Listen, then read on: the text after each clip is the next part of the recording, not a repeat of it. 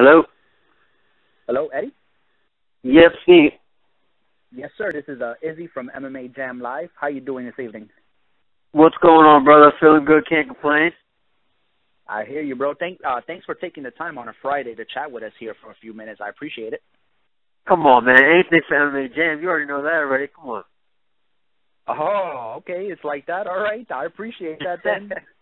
I'm just letting you know right now. Jay said that you're gonna get the best interview, so the pressure's on you. Oh, damn. That's that's. I don't know if that's good or horrible, man. he threw you out there, so I'm ready for it. All right, let's let's let's see if I can live up to this to this hype. Um, now you you've been fighting professionally for about three years now. Uh, what was the inspiration behind the decision to begin training in MMA? Oh man, it was it was actually weird, man. It wasn't like I, I watched UFC and like dreamt about being in the cage. That was like the farthest thing from the truth. I actually went to um UFC 101, and when I walked into the arena, man, you know we had pretty good seats ringside, watching all the fights, and I was like, damn, man, the adrenaline rush I got just from people screaming and yelling. I was like, I gotta check this out, man. I want to try this this sport out. I used to wrestle, so I'm like, why not? I think I could be good at this started doing some research, ran into Chris Weidman, who I wrestled in high school with, and he took me under his wing, and I started to pursue, you know, the dream of being in the UFC. Man, that that story, although we hear it a lot, like it never happens that way. Like I can't imagine a better scenario than running into a guy like Chris Weidman and just training under him, and you know Matt Serra. Like that just things happen perfectly for you. It seems.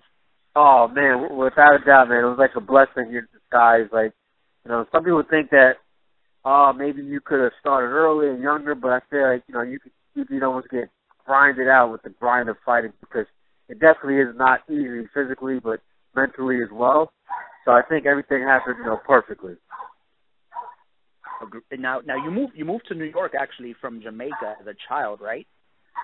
Yeah, I came here when I was young, man. Like I came here when I was uh three years old. My parents were both immigrants. They wanted us to get, you know, a better opportunity, more, you know, more chances to succeed in life. So we came here when I was uh three. Now, now I know you, you know, you were very young, but how was it growing up having to adapt to a different culture? Um, you know, being young, it, it helped me out. You know, my brothers and sisters are a little bit older, uh, so it was a little bit harder on them than it was for me. But um, it was tough at first. You know, being kids, kids always yell at each other and make fun of each other. So for me, when I come from another country, you know, having a little accent, you know, kids were kind of tough on me. But whatever, you know, maybe get thicker skin, maybe the person I am today. You know. Now, now we're talking about this is the the I, if I'm not mistaken, this is about late the mid to late 80s. How, how was it? Yeah, yeah, I was, yeah, exactly. Like I, I came around like '87, like eight, yeah, '87, '88. I came to, uh, to the states. Now, how so was I, believe it or not, man, I had a heavy accent, man. I had a heavy Jamaican accent.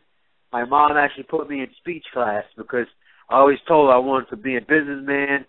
So while all the other kids in my school was going to enrichment and learning how to play golf and bingo and this and all types of other crazy games, I was in a room locked up with a speech therapist. So it worked out, you know. You know, it, it's funny because if this is the first, like, let's okay, this is obviously the first time I'm talking to you, you know, on the phone, but I've heard you on TUF. Now, if if if I'm listening to you for the first time, I I'm thinking, hey, you don't even have an accent. In fact, you definitely sound like you're from New York, and I know this because that's exactly where I'm from. So I, you have that New York accent. Yeah, man. I, I people say it all the time. You know, only time my accent really comes out is when I'm, you know, at home with my family or speaking to my mother because she has a heavy, thick, you know, Jamaican accent. Um, and my dad and everybody, you know, my brother and sister, because they were, you know, a little bit older. I'm the youngest, so uh, they were older when they came here, so it was a lot harder uh, to shake their accent than, than myself. But um, yeah, it just comes out, man. now, how was it during your school years? Was it something that it was hard to adjust? I mean, how were the other the, the other children? Did they treat you differently, or how was that whole experience? Yeah, the first the first couple of years, you know, were, were hard because you know really didn't have any friends, didn't know anybody, and kids are kids, man. They're brutal. You know, they they they pick on you because you're different because that's just what they're used to. My mom used to friggin' dress me to go to school, so coming from the islands, it could be fall outside. In her mind, that's like winter time. So I'm stuck in like a uh, a colorful sweater while all the kids are in t-shirts and they're like, "What in the world?" I have pictures my cousin has of literally we're at the park, everybody's eating like fruits and vegetables and stuff. I'm sitting here in this sweater while everybody's in a t-shirt. I look like the odd man out. so oh, it was it was tough, but you know what?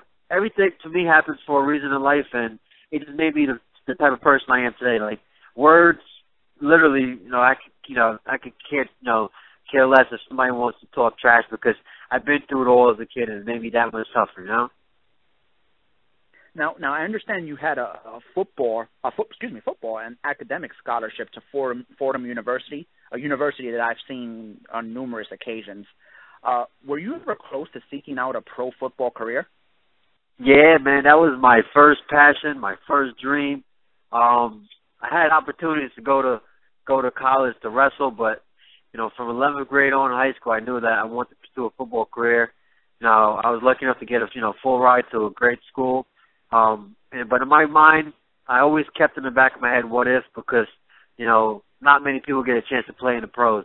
So I wanted to go to a good academic, you know, school where I could have the opportunity, if I didn't play football, to succeed, you know, in the business world. But I could. It was priceless, man. I had literally the best coaches, you know, best teammates ever at Fordham, and opened up a lot of doors for me. I pursued the NFL career. Um, it didn't work out. They wanted me to a couple of scouts wanted me to go to uh instead of the practice squad, go to you know Canada, the CFL. But for me, it was like all or nothing, man.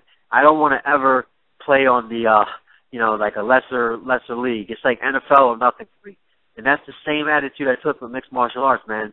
I knew that UFC was the NFL of the mixed martial arts world, so that was like my number one goal, you know, from day one. I knew it wasn't going to be easy because you know, there's guys that sit there and train four, five, six, ten years before they even get a shot. So I just said I'm just going to work as hard as I can and let the chips fall where they may. That's definitely a great attitude to have. Now, the the Fordham University, correct me if I'm wrong, they're they're the, the Rams, correct? Yes, the Fordham Rams. Man. I'm a Ram, a Red Devil, and a Ram. So it worked out for me. On this season's TUF. it worked out. My high school was red. You know, Fordham is pretty much the shade of red maroon and I was on the red team. So everything, um, it was all like a full circle. Damn, per- picture perfect. No kidding. Yeah. Um, now, you you double majored in finance and marketing and communication, and you're also a dad. You have a full time job, or did are you still there? Or at the yeah, job? still yep, got a full time job. Okay, and and you're a fighter. Now, how easy or difficult is it to find a proper balance in your life? it's tough, man. It's um, it's not the ideal situation, but you know, for for me, it works. You know, I'm used to having a regular schedule, and I'm used to you know time management. Because when you have kids, your world changes. Like it's no longer just about you. you got a couple of mouths to feed. You got to balance, you know, their school and everything. But for me, the way I look at it is like a controlled, you know, chaos for me, man. Like I literally work, take care of the kids, train. And for me, it's normal at this point. You know, at first it was tough, it was hard, but now I can see, you know, doing it no other way. Don't get me wrong. I wouldn't mind having a huge UFC deal where I could focus more on training because I don't want anybody to have any type of unfair advantage versus me. I want to be able to, you know, like I said, go 150, you know, miles per hour with this thing because the window of opportunity is so so short. You're young, but for so long, and just got to make the best of it. It's interesting you brought that up because we had an Invicta fighter, Tonya Evinger, come on saying that she isn't able to train a 100% because of the lack of opportunities. So therefore, I mean, she's not really fighting at her full potential. Is that something? I mean, obviously that's something you're trying to avoid. Exactly. Yeah. No. I, and I, I, I couldn't agree with her, you know, anymore. Like people think that you know just because you're fighting, you're rich right away, but that's the farthest thing from the truth. Because you know, there's a lot that goes into it. You know, you got training camps, you got you can get training partners to come out, you got it's, it's a lot. It's, it's a lot. It's expensive, and if you don't have the income to back that, you know, you're not going to be able to get the best training in the world. I'm fortunate enough where I got world class guys that are training at my gym, so I don't have to travel as far. I don't have to pay guys to come in. things like that. But in that same case, you know, you got to put the time in. If you don't have 10, 15 hours a day to be training, and you got to mix it up, you know, a couple hours here, a couple hours there, you know, go to work, come back half tired, and uh, take care of the kids, bring the kids to the gym, have to worry about them distracting you. It's a lot, you know. But like I said, I'm not a big fan of excuses, so I just make the best of whatever I got, and uh, and then make it work for me, you know. Now, now you pretty much have half the equation down. The whole training thing. You know, you mentioned you train with Serra Longo, the Serra Longo fight team. Uh, how has training with such a great team impacted your life professionally? Oh, it's been priceless, man. Literally, I was fortunate enough to to to know Chris personally before he, you know, became the UFC champ. And he's the same guy. He's just a hard worker. And when you're in a gym with somebody that I've known since seventh, eighth grade, and to see that the simple equation is be the best you you can possibly be and just work as as hard as you can and outwork everybody. So he laid the footprint. So training with a guy like that, having you know Ray, you know Matt, you know Al, a whole bunch of UFC fighters in the gym, it's like the blueprint is right there. You know, if if I don't listen and take their advice and take all the trainers' advice, I'm stupid, because Ray trained two world champions in the highest level of mixed martial arts, so he obviously knows what he's doing. So for me, when I go into the octagon against whoever I'm I'm, I'm, I'm facing across, I know that they're not training with the world champion every single day. So that gives me a huge mental edge, and it just know I just know that I'm prepared for anything that that's gonna you know happen. You know, I have to ask this question just for my personal knowledge. Are are Matt Serra and Ray Longo as intense in training as they are when they're cornering one of their their guys? Oh my! You if, you took a snapshot of when we're sparring and when they're cornered in the fight, you couldn't tell the difference. They they they are when I say awesome, they're like literally they're they're the best that that, that somebody could ever ask for, man. Like you know, what you see is what you get. It's not it's not for TV. It's not it's not anything. It's literally that's that's Matt. That's Ray. There's never never a dull moment in our gym. I always tell them we need to have some cameras rolling, man, because that's that's like a sitcom waiting to happen. that's fantastic. Now, now on to this season of The Ultimate Fighter uh, obviously you you tried out and you had that long wait like everybody else. Uh, can you describe where you were and what your emotions were like when you found out that you would be on season 19 of TUF, or that you would have the opportunity to fight your way onto the season? Oh man, for me it was I, for me it's probably a lot different than, than uh, most guys, uh, because I was actually slated to be on the TUF 17th uh, uh, show, and that's when they had 205, 185. They end up dropping you know 205. So at that point, I was in 205 weight class. So they, you know, literally like a week or two before it was time to fight to get out, they called me up and said, you know, they're moving in a different direction. It's not really in my best their their best interest if I don't make weight. I've never fought 185 before, so there was just too much too much risk for the for for the UFC, which I completely you know agree with. So I was like down in the dumps, dude. I'm talking about from having the highest hopes to being down and out, and literally I was like, man, maybe it's just not meant to be. Like, you know, it is what it is. And at that point, I was like, I'm just going to fight my way, you know, into the UFC. Got a couple fights. At that point, I was losing weight, so I was like, you know, let me try 81, 85. And sure enough, season 19 came up. I didn't even know about it. My my teammate Al, who was on the live season, a finalist as well, he called me up and he was like, "Yo, dude, they're doing it again. You got to get out there some way somehow." At that point, it was like a day's notice and I was like, oh my god, dude, I got kids. I can't just pack up and leave. Think tryouts were in Indianapolis at that time. So sure enough, like I was so far into the process the last time, I had all the producers, I had everybody's contact information. So I started harassing everybody who I had in my phone book. Uh, I gave them a call. I, I let them know the situation. Um, luckily enough, they remembered me from, from trying out in season 17. They knew it was like a weight issue. Um, at that point, they they flew me out uh, did my medicals again, and then I was like the little waiting, the waiting game. And when they called me a few weeks and said, "Listen, flying you out to fight to get in the house," I was ecstatic. I was like, "Listen, everything happens for a reason. I'm going to make the most of this opportunity." And uh, I was words can't even explain. At that point, it was like final relief to get that final call that they email you, give you your your plane ticket date, your time, when to show up. That's when it became real because I already heard already from season 17. Okay, we like you. You're gonna be on the show. You know, hold on for our phone call. So when that phone call came, I was like, that's it. My mind was set that anything besides first place would be a disappointment for me. You know, I think that's my favorite part of the interviews with uh, you know guys from TUF is is finding out exactly how you felt when when you got that phone call and where you were and how nervous you were. And I mean, it's just an amazing thing to hear. Now, you you defeated Matt Gable by unanimous decision in your fight to get into the house. At what at what point after that did it dawn on you that you were you were one step closer to winning the season?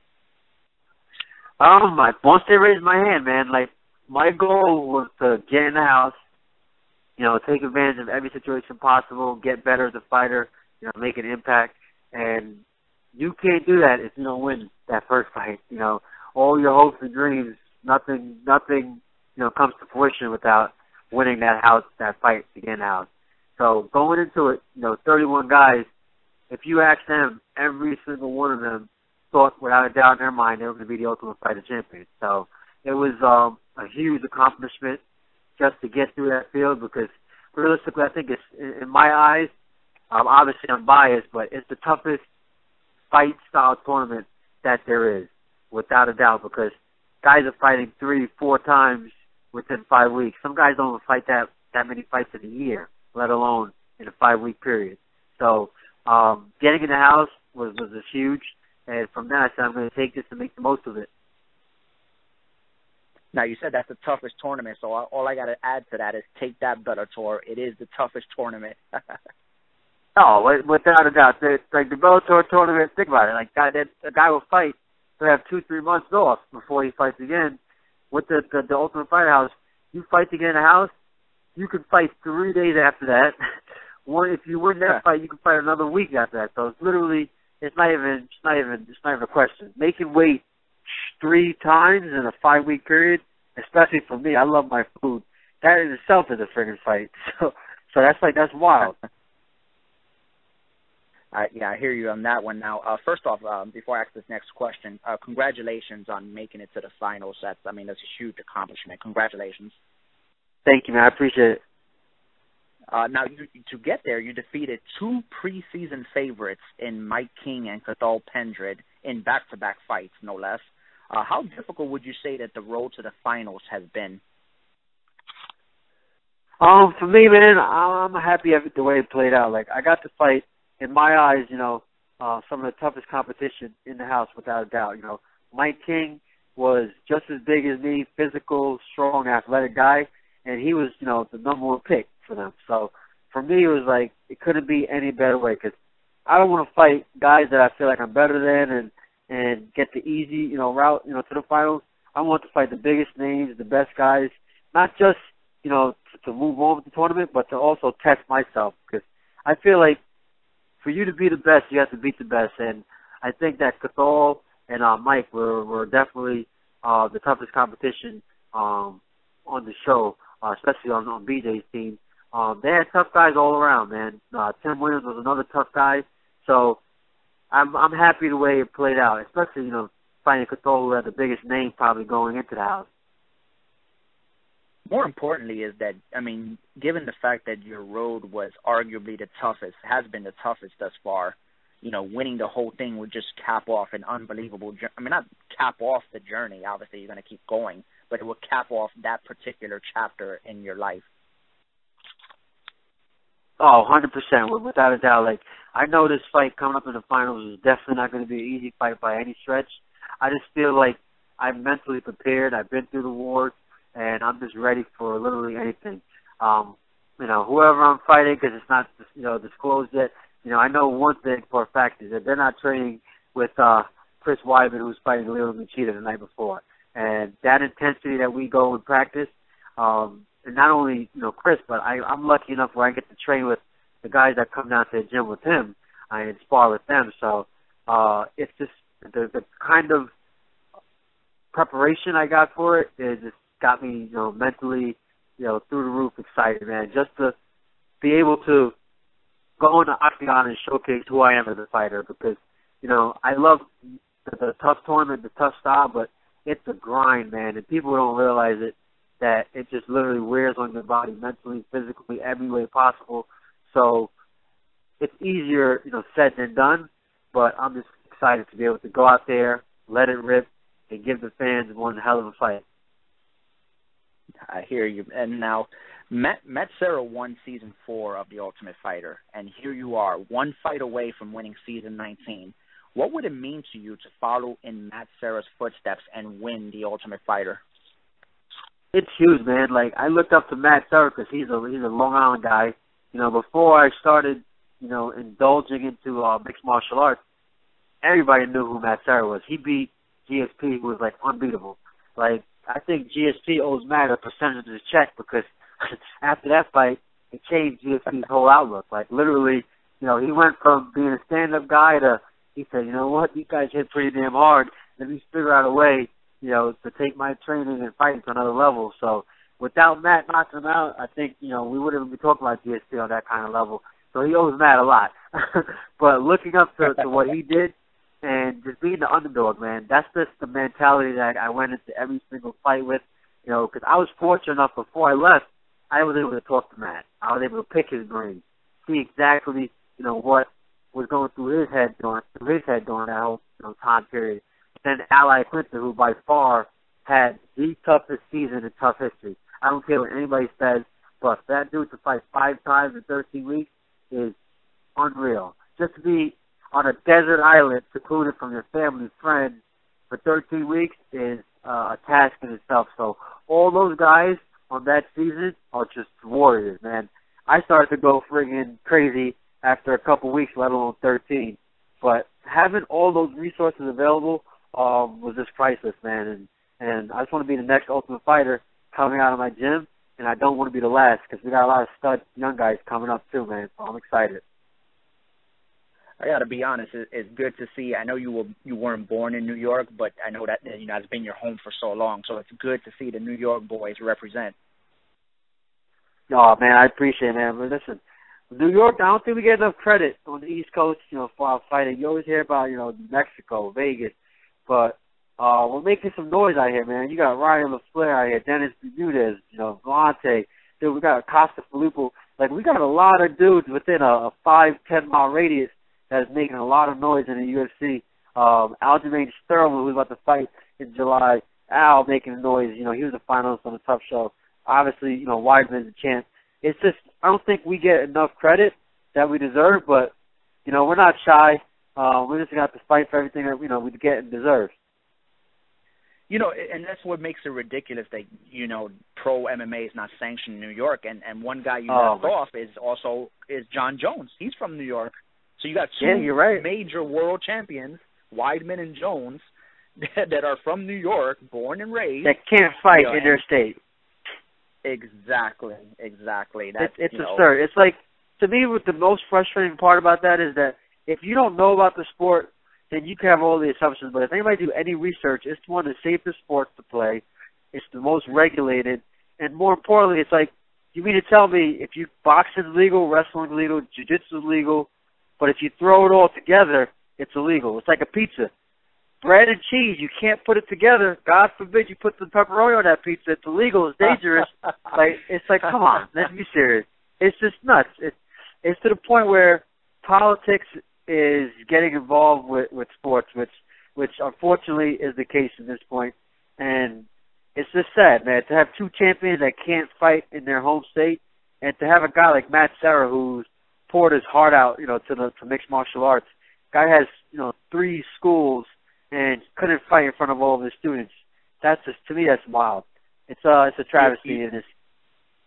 Well, you're missing the part of you can't even smoke a cigarette in a bar. And and the funny thing, Eddie, is that the guy who outlawed, who banned it, who led the ban, it was George Pataki. He's been gone for a long time in New York politics. Wow, it's wild. It's it just it's just to me it's just it's a matter of time. It's like come on, dude. It's legal in 48 other states. Like it's it's absurd at this point. If that's the case, then and I'm a football player by heart. If you look at the not even not even numbers percentage wise, or even like head injuries or boxing, It is unreal. If you get a concussion, you are done. Minimum thirty days. That's the minimum before you see a doctor. In football, you get a concussion, you're playing two weeks down the road because you miss 30 days, you're missing four or five games. That's not happening. Like, it's literally the safest sport. As it, to me, it's doing more harm not being sanctioned in New York because you have all these underground fighters and all this other craziness going on. That so if they're they're looking for safety, just regulate it, and it'll be that much better for everybody. It's great that you say that because if you look at the concussion protocols in football, basketball, and MMA, and MMA is safer because obviously it's safe to assume that when you suffer a knockout loss, you probably suffered a concussion. It might be slight, it might be a big concussion. It's safe to assume that, and it's handled as such. But in football, I can't tell you the amount of times I've seen a guy say, "Yeah, I'm okay, I'm okay," and he's clearly, you know, seeing stars, you know, like the cartoon. Oh yeah, without a doubt, hundred percent. And you're not you're not playing 16 games in 16 weeks. You know, you're fighting.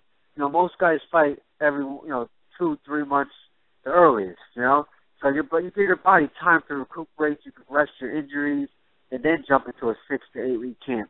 So it's like it's it's so regulated, it's safe, but just politics, man. It's, it's to me, it's the lawless thing. Politics shouldn't be involved in sports or kids. that's just my that's just my view. Yeah, you know, it's funny they can't even run the government, but they want to regulate sports. It's it's wild, man. It's like focus on one thing. and plus, New York needs the money. We're complaining about how much money we need. They keep raising the prices on on on subways and buses and tickets and all that stuff a, a UFC event will bring in anywhere from ten to eleven million bucks easily from restaurants, from you know small mom and pops, um, hotels, the venue itself, tax money on that, transportation. It's it's a no brainer. To me, it's just wild. It makes no sense.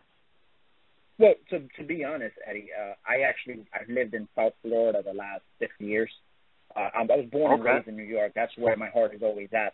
But to be honest, like I moved down here because I just couldn't make it there. Like I, I mean, you could relate. I mean, like you go to a, a place, you know, maybe uptown New York or whatever, and you have this little one bedroom apartment, and you're probably paying like thirteen hundred dollars a month for it. Oh man, it's it's crazy. Like it's wild. Being on the show, I was able to talk to other guys and see like what their living expense was. Um, I can't remember. I think Diego Lima. He he was what in Atlanta. He told me he had a three, four bedroom house. His mortgage was six hundred dollars. I said, dude, oh, that's my. like my utility bills. I'm talking about like my house is the. I'm like, I wish if my mortgage was six hundred dollars, I would be on like forget like I'll be, I'll be smiling from ear to ear. That's like the utilities in New York. It's just it's just wild, man yeah, you know, here I was. I was going to brag about paying six hundred and fifty-five dollars a month for a one-bedroom apartment that's pretty a nice size. You know, this be- this apartment in New York would go for like fourteen hundred dollars a month. Oh, it's nuts! It's wild. I, I completely, I, I, I know exactly what you're talking about. that's crazy. But uh, one one last question on TUF. Uh, how how would you describe your overall experience? Oh, it was priceless, man like I literally couldn't ask for a better experience. You know, falling on you know BJ Penn's team. Sorry, uh, being on Frank Edgar's team, uh, going against BJ Penn, who was a legend, who I looked up to, and it was just I couldn't ask for a better bunch of guys to spend you know six weeks with. Uh, both teams were respectable. You know, despite all you see on TV, we uh, end up you know leaving on a good note. Uh, to this day, I still speak, you know, to a lot of guys on the blue team. I talk to all the guys on the red team. Like we're we literally create a bond that is literally going to be uh, You know, talking to these guys, we text back and forth. You know, all of us. Uh, it was just priceless. If there's anything I would possibly change, it's nothing with the show. It'll probably be my own personal decision to to probably I would have fought a weight class up because the uh the grind that it took on my body to make weight three times in five weeks I would never wish that on anybody. um, that's the part of fighting that you don't really see, you don't really hear about, but you know it takes a lot of focus and to maintain that weight and rehydrate. I think it was just a lot, you know, to go through for such a short period of time, so many times. So I would definitely, you know, it up in the weight class without a doubt. Well, I tell you what. Other than that, everything was priceless. Definitely, and I, at least you, you guys all made weight. Last season, we had two guys, you know, be cut because they couldn't make weight. And to me, that's uh, that's the craziest thing that could possibly happen. That's just not makes no sense. You're in the biggest opportunity of your life. They give you every chance, every opportunity. They sink down to a science. like that's just wild. I can't even believe that. If you can make the weight to the house, it falls on you at that point. That just means that you how in between fights you're just out eating, getting fat. You know, you know what's funny, Eddie, uh, and and before I let you go, um, it's funny because I I had the the you know the honor of interviewing those guys. I say it's an honor. It's an honor to interview to have a few minutes of anybody's time, you know.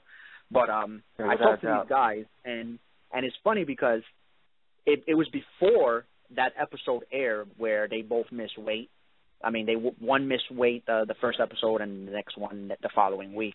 Uh, and they're here talking straight face, and I'm here praising them and saying how they're good and everything. And then the next thing you know, that happens, and I'm like, wow, I just, you know, I'm here like giving you compliments, and we're having great conversations, and the whole time it was like, I, you know, I understand they couldn't reveal it, I understand that part, but it was so like awkward in hindsight to think about that stuff. Yeah, it's it's it's, it's wild, man.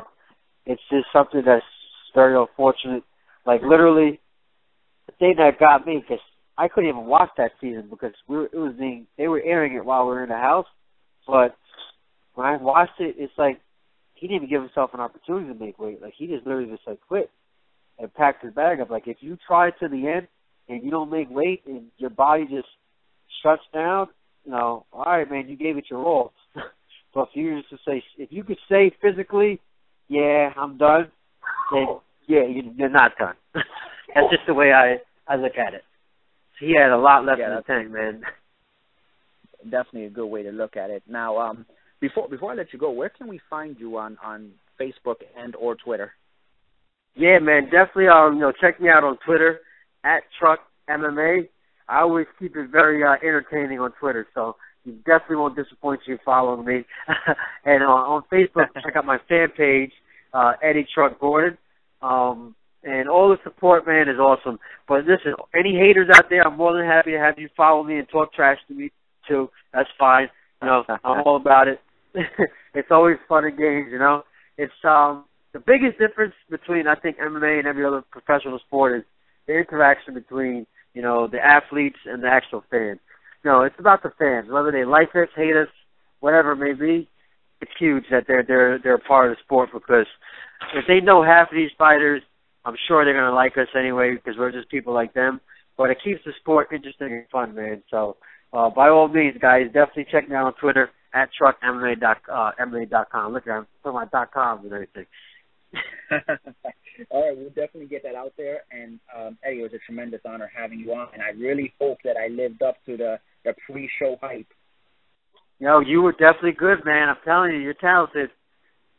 Uh, man, I, I that means a lot to me. I really appreciate that, sir. Uh, thank you for having me, man. I appreciate it, man. Uh, take care. Have a good weekend, and best of luck next Sunday at the uh, finale. Awesome. Thanks. Appreciate it. Take care. Bye. Have a good one.